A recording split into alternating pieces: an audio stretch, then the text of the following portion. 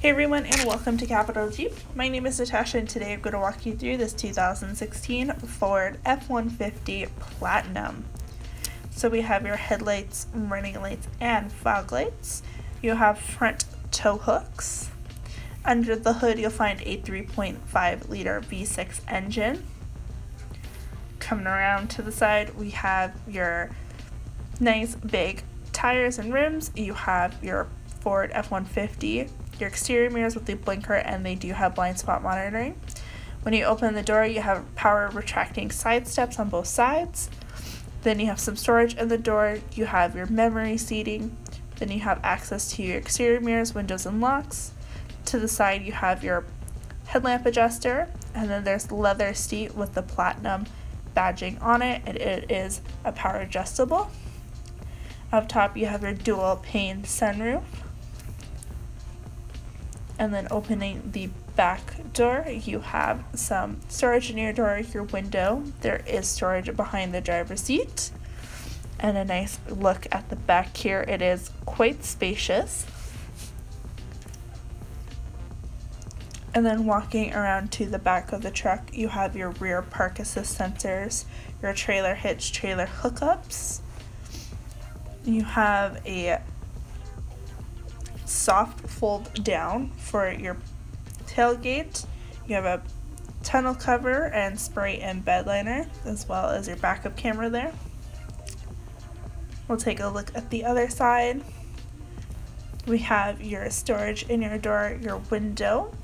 You have some storage behind the passenger seating as well. That section folds up if you don't knot the armrest. And then on the passenger side, we have your storage in the door. Then we have access to your windows and locks. You have a power adjustable seat for the passenger. And then you have your glove compartment. I'm to grab the key to show you the rest inside. Alright, so I'm in the Platinum now, and we have our key, we have our unlock, lock, our remote start. This is to pop the tailgate and your panic button. It is just a push start. On our steering wheel, we have our mounting controls. So we have our volume, our next voice recognition phone. On this side, we have our cruise control, and then this allows us to scroll through our dash here. So we have truck info, so we have your speedometer.